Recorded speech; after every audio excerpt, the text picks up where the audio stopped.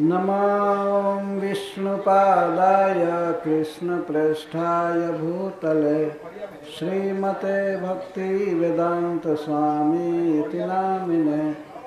नमस्ते सारस्वतदेवे गौरवाणी प्रचारिणे निर्विशेषशून्यवादी पाश्चात्यशतारिणे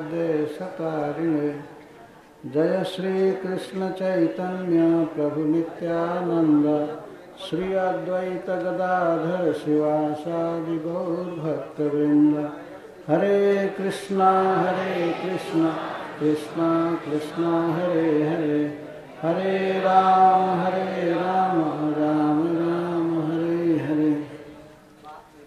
ॐ नमो भगवते वासुदेवाय।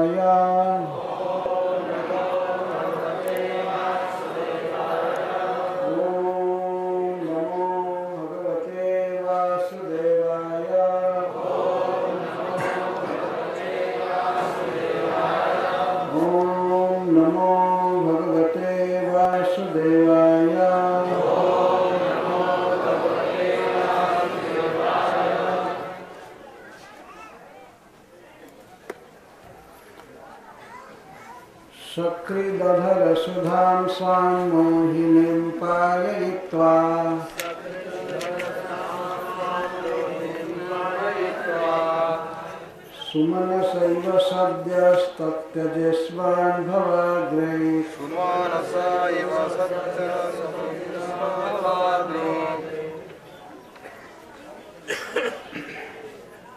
परिचरति कथं तत्पादपद्मं तु पद्मा परिचरति पद्मान्तु पद्मा यपि बत हृतचेता उत्तमश्लोकजल्पैः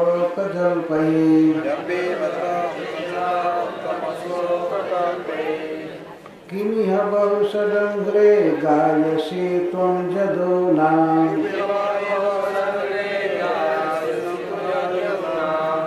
अधिपतिमगृहाणामग्रतो नः पुराणम्। विजयसखसखीनां गीयतां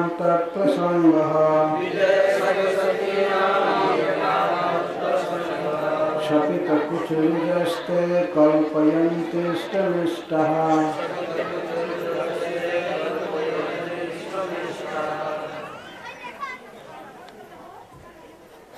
केवल पाँच भक्त पुरुष पढ़ेंगे और पाँच माता सक्रिय केवल एक बार। अधर सुधाम अधरामृत स्वाम अपनी मोहिनी मोहित करने वाले पायित्वा पिलाकर सुमनसैव पुष्पों की तरह सद्य तत्काल तत्यजे त्याग दिए। असमान भवाद्रिक, हम लोगों को, जैसे तुम फूलों को छोड़कर उड़ जाते हो। परिचरती, परिचर्या करती है कथन कैसे? तत्पाद पद्म कृष्ण के चरण कमल की तू अहो, पद्मा लक्ष्मी, यपि फिर संभावना करती हैं। हाँ बता, बड़े दुख की बात है। हृत चेता, उस बेचारी का चित चुरा लिया गया। उत्तम श्लोक जलपई उत्तम श्लोक श्री कृष्ण के झूठी झूठी बातों द्वारा।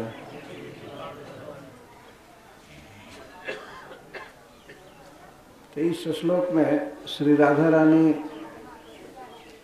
भगवान श्याम सुंदर के विषय में जो कह रही हैं, इसको रूप गोस्वामी पाद कहे हैं कि यह है परिजल्प इसके पहले जो सवेरे कथा हुई थी तो उस श्लोक को रूप गोस्वामी पाद जी प्रीति संदर्भ में लिखते हैं कि यह है प्रजल्प। प्रजल्प किसे कहते हैं? असूया ईर्ष्या मदविजा यो धीरण मुद्रया, प्रियस्या कौशलोद्गार प्रजल्प सतु कीर्त्यते जिस उक्ति में श्री कृष्ण में दोष निकाला गया हो, असूया, इस दो असूया का अर्थ होता है दोषाविष्कार, किसी में दोष निकालना, इसको असूया कहते हैं। तो प्रथम श्लोक में असूया क्या है? कितव। कृष्ण को राधा ने कहा है, कृष्ण कपटी हैं, धूर्त हैं तो उनमें ये दोष निकाल रहे हैं। और ईर्ष्या भी हो रही है। ईर्ष्या किससे? साउथ से। सपत्नियाँ कुछ बिललित माला, ये ईर्ष्या है इस उक्ति में। और मेरे चरण मत छुओ, ये है गर्व अपने को बड़ा समझना तथा बहतु श्री कृष्ण मथुरा की स्त्रियों का प्रसाद वहन करें, प्राप्त करें। इसमें है अवधीरण अवधीरण का अर्थ होता है छी छी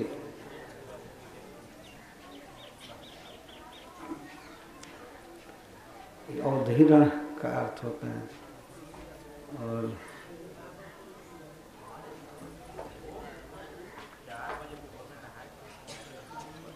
जदु सदसी,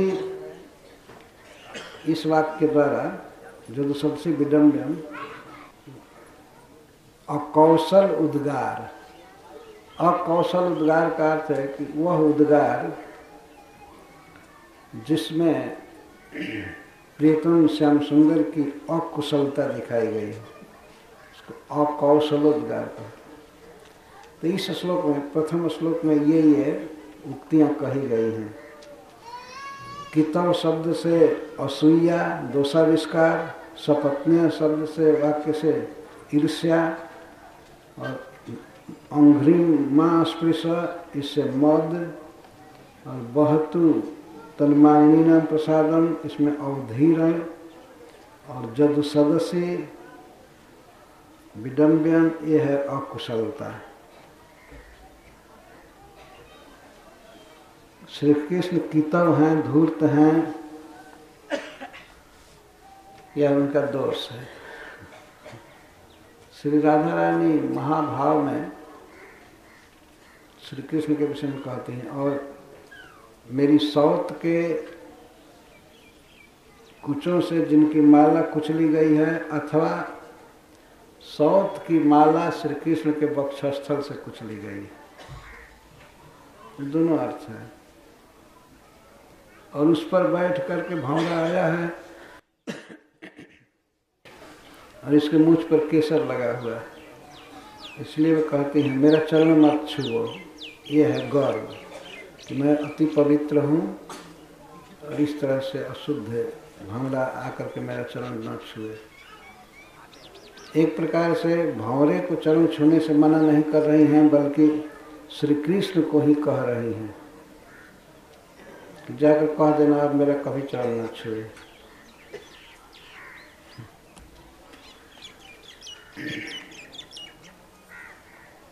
भक्तों के लिए भी ये समझ पाना कठिन है। फिर सामान्य जनता के लिए तो इन बातों को बस सुनना ही है। सुनिए क्योंकि क्रम से कथा आई है तो, तो ये समझना चाहिए कि बहुत महान प्रसंग चल रहा है। भले सारी बातें समझ में आवे या न आवे कई बात लोग सुनते रहते हैं जो समझ में नहीं आती है। साधारण बातें भी ये तो भगवान की बातें तो इस प्रकार से इस श्लोक में प्रजल्प है। जिस श्लोक में जिस उक्ति में प्रिय के, के दोष निकाले जाएँ और ईर्ष्या हो किसी के प्रति तथा गर्व हो और अवधीरण हो धिकारा जा रहा हो और अकुशलता व्यक्त की गई हो, उसको प्रजल्प कहा जाता है।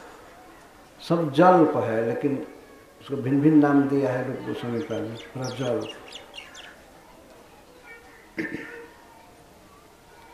परिजल्प। परिजल्प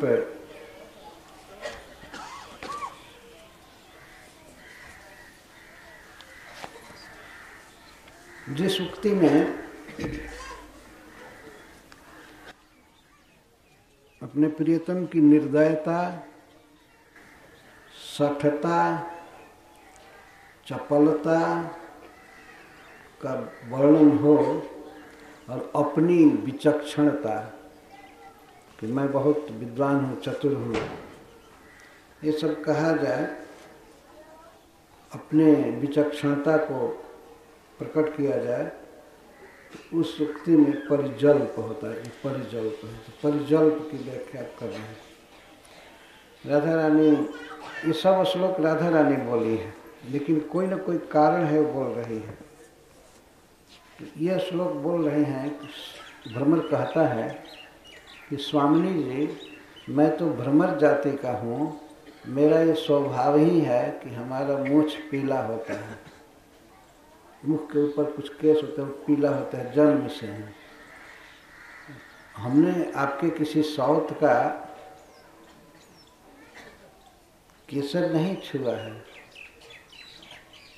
सहज पीतिमा है, सहज पीलापन है हमारे मुझ पर। और दूसरी आप शंका कर रही हैं कि श्री कृष्ण आपके सौत के साथ संगम किए हैं और इनके वक्षस्थल से उसकी बनमा उसकी माला कुचली गई है या उसके वक्षस्थल से, कुचों से कृष्ण की बनमाला कुचली गई है। मैं आपसे जितना शपथ खिलाइए शपथ खा करके कह रहा हूँ कि मथुरा में किसी भी स्त्री से श्री कृष्ण का स्वप्न में भी कोई संजोग नहीं। वो सत्य बोल रहा है भ्रमर वो बोल रहा है कि नहीं, राधा रानी, सब कल्पना कर रहे हैं को गुनगुन कर रहा है बार बार बोल रहा है तो ये सोच रहे हैं कि भ्रमर ये कह रहा है। भ्रमर कह रहा है कि स्वामी जी, स्वप्न में भी श्री कृष्ण का मथुरा में किसी स्त्री से संजोग नहीं है। फिर बनमाला का मर्दन कुछों द्वारा इस कैसे संभव तब राधा रानी कहती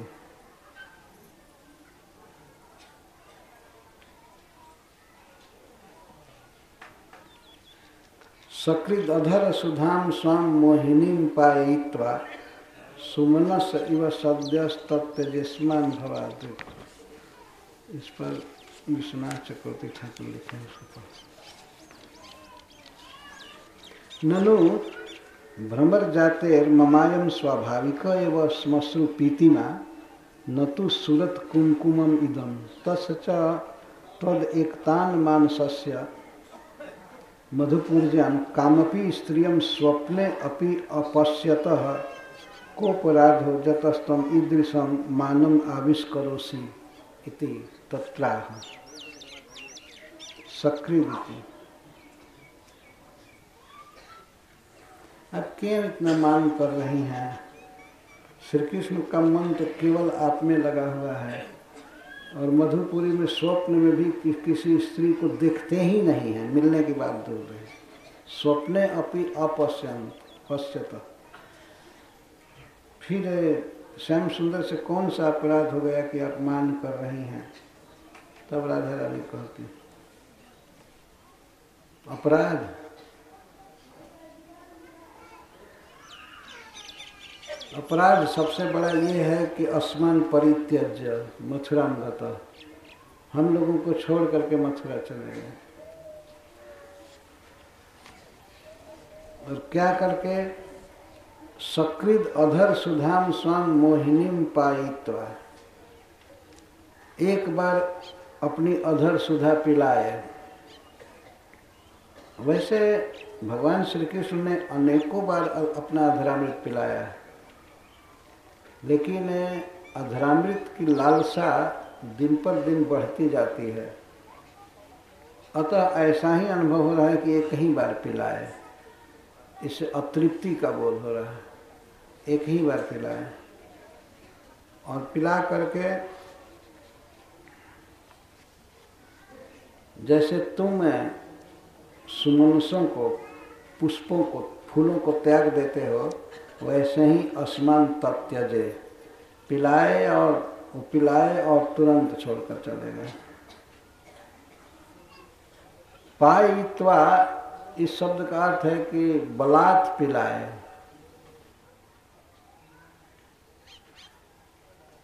तो कैसा अधरामित बांसुरी के स्वर को भी अधरामित मानती है। अधरों के संजोग से भगवान बांसुरी बजा रहे थे। जैसे सुखदेव गोस्वामी कहते हैं कि वेणु छिद्रान छिद्रान वेणु रधर सुधयात। कैसे पूरयन गोप वृंद अधर सुधा से, अधरामृत से वेणु के छिद्रों को भर रहे हैं और सारे जगत को पिला रहे हैं। लेकिन साक्षात अर्थ भी लेना चाहिए। एक बार सकृत अधर सुधाम स्वाम अपनी अधर सुधा पायित्वा पिलाए, और सुमन शिव सद्य स्तव्य जस्मान भगाजी तुम जैसे फूलों को छोड़ देते हो, ऐसे ही छोड़ करके चले गए। सुमनस इव सद्य तुरंत तत्यजे त्याग दिए। असमान हम लोगों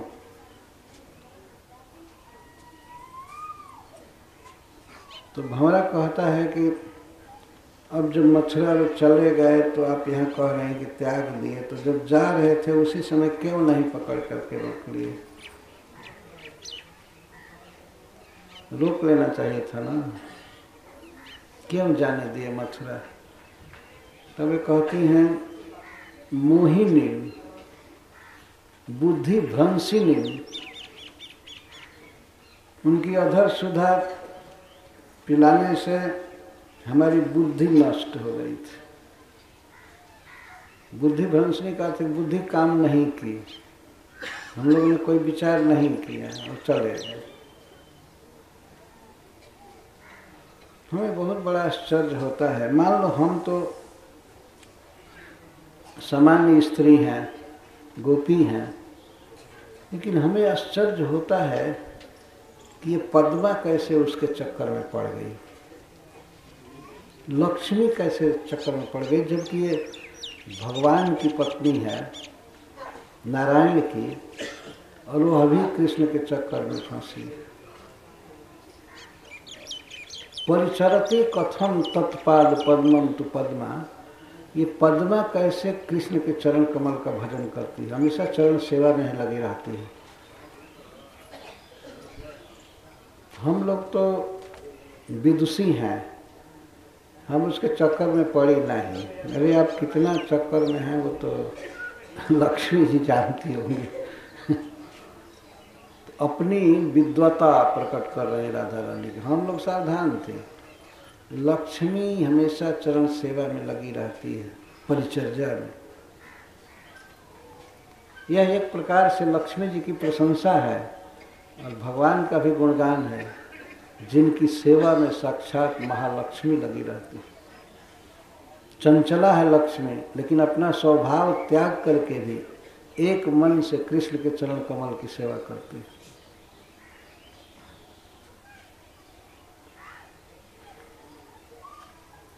कैसे इतने चक्कर में उसके आ गई?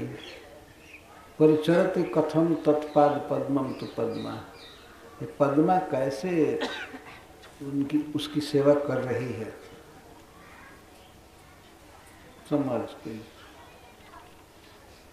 मैं समझ गई। श्री कृष्ण की मधुर मधुर बातों में फंस गई होगी। अपि बत हृत चेता उत्तम श्लोक जल पे श्री कृष्ण को उत्तम श्लोक कहा जाता है। इतने झूठे को बत छोड़ व्यक्ति को, और उत्तम श्लोक कुछ लोग कहते हैं। राधा रानी मान में सब बातें कह रहे हैं। श्री कृष्ण ने उत्तम श्लोक कहा जाता जिनका जस बहुत उत्तम है, निष्कलंक है, शुद्ध है ऐसे उत्तम श्लोक नामधारी श्री कृष्ण के चिकनी चुपड़ी बातों में फंस गई पद्मा। श्री लक्ष्मी जी को पद्मा कहते हैं पद्म में के वन में वो रहते हैं। पद्म वन, कमल वन में, इसीलिए उनको पद्मा कहते हैं। और भगवान जैसे अपने हाथ में कमल लिए रहते हैं, पद्म लिए रहते हैं वैसे श्री लक्ष्मी जी भी अपने चार हाथों में से एक हाथ में पद्म लिए रहती हैं।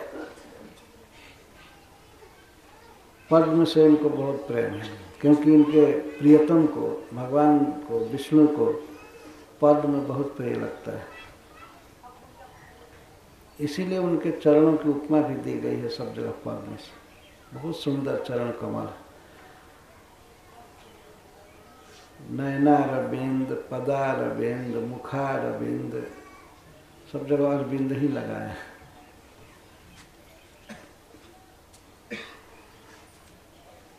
यह मद को व्यक्त इसमें अपनी